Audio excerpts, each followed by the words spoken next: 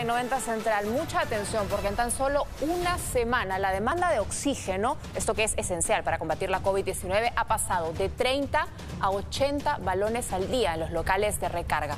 Hay historias dramáticas de familiares que están haciendo colas inmensas buscando ayudar a sus familiares enfermos.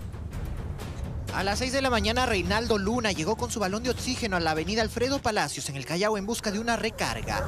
Él y toda su familia están muy tristes porque su suegra de 70 años tiene COVID-19 hace más de una semana y necesita del oxígeno. A ella le atienden en casa debido a que los hospitales están colapsados. Lo llevamos al, hospital y nos indicaron que no había camas, este, que tenían que esperar y por ese motivo estamos, este, pues no nos queda otra cosa que seguir este, esperando, cuidando en, en el hogar, ¿no?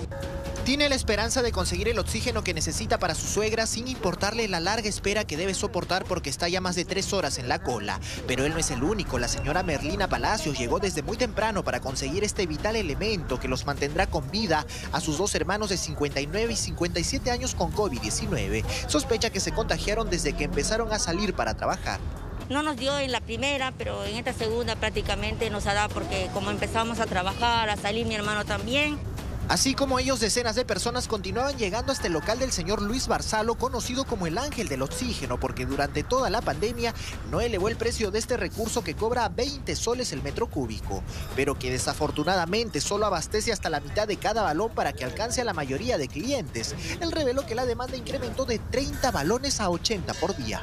¿La segunda ola? ¿Cree que sea por la segunda ola? De hecho que sí, de hecho que sí, ah, ¿no? Porque ya esto también también ya cuando los hospitales, bueno, desgraciadamente ya se saturen, ya la gente se va a tratar en su hogar, pues.